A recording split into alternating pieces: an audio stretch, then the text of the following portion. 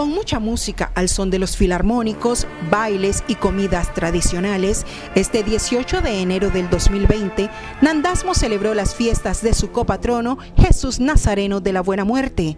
Como parte de las festividades, feligreses de varias partes de Nicaragua llevan a la casa del mayordomo ofrendas en carretas para adornar la enramada donde se coloca a Jesús de la Buena Muerte cada 17 de enero.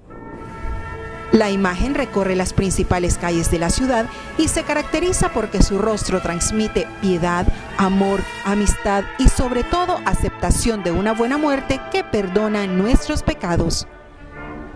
La historia señala que la fecha por la cual se celebra esta fiesta se debe a que en Mazatepe, un poblado vecino a Nandasmo, un 18 de enero de 1826 fue controlada una epidemia de cólera gracias a que sus pobladores clamaron a Jesús de la Buena Muerte por la sanidad.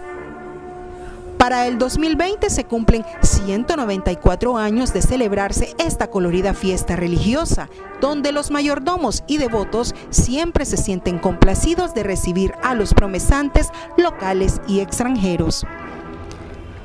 En todo el continente americano existen tres imágenes de Jesús con este mismo nombre, en Ciudad Guatemala en Guatemala, en Lima, Perú y en Nandasmo, Nicaragua.